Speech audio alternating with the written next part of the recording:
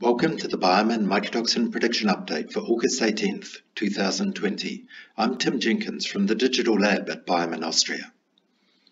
This week, we look at the weather forecast for late August and how this will affect maturing corn crops in many parts of Europe. And we see what the rain might mean for late wheat harvest in some areas. Let's look at the risk levels in your part of Europe.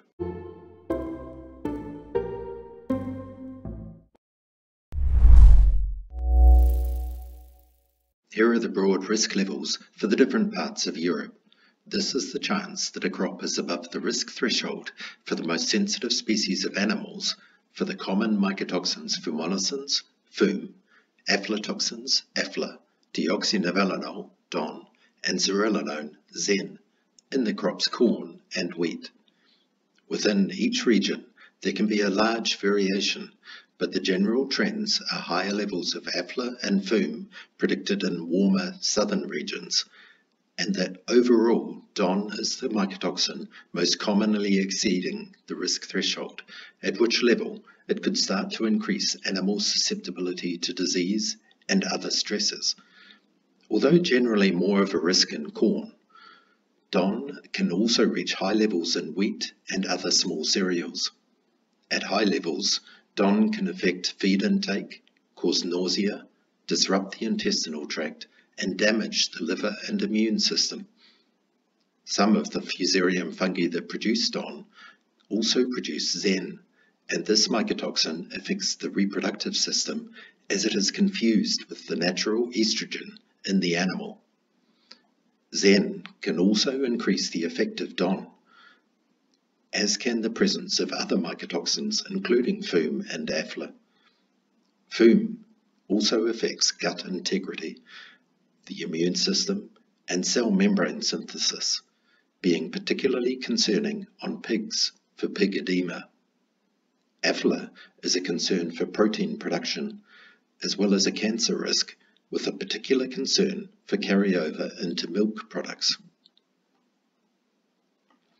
For the next 10 days, there are a large number of rain days forecast in many of the areas of Europe that are still having late winter wheat harvest, with heightened concern in Ireland, western and northern England and parts of Scotland, as well as coastal northern continental Europe, particularly around the Netherlands.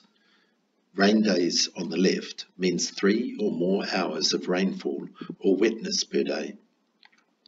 For wheat, the most important period for mycotoxin producing disease is during anthesis or flowering, which is now past. On the right, though, we have a map of areas of Europe in which winter wheat is commonly now being harvested, so mostly northern areas. Although establishment of the mycotoxin producing fungi has already taken place, rain around harvest delays the drying of grains, allowing already established disease to grow more and produce more mycotoxins. Switching to corn now, one of the main risk periods is silking or flowering, pictured here on the right, which is mostly in July. Late July was drier than normal in some areas, but there were high numbers of rain days around the Alps area and in neighbouring countries to the east, as well as in parts of Scandinavia and the Baltics. If rain coincides with silking in these parts, this will likely increase the establishment of mycotoxin producing fungi in the corn. Many of the same areas around the Alps and into parts of Balkan countries continued to have high numbers of rain days in early August also, but generally more northern and eastern regions were not so wet, reducing the risk for any middle to late silking crops.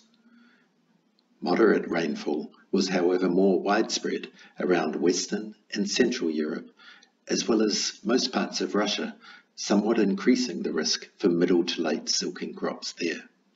Looking again at the late August forecast, the next 10 days are predicted to have high numbers of rain days that will increase the risk for later crops in the Netherlands and surrounding areas, southern Germany to the south, Slovakia and northwestern Romania, and much of eastern Poland and western Ukraine and Belarus.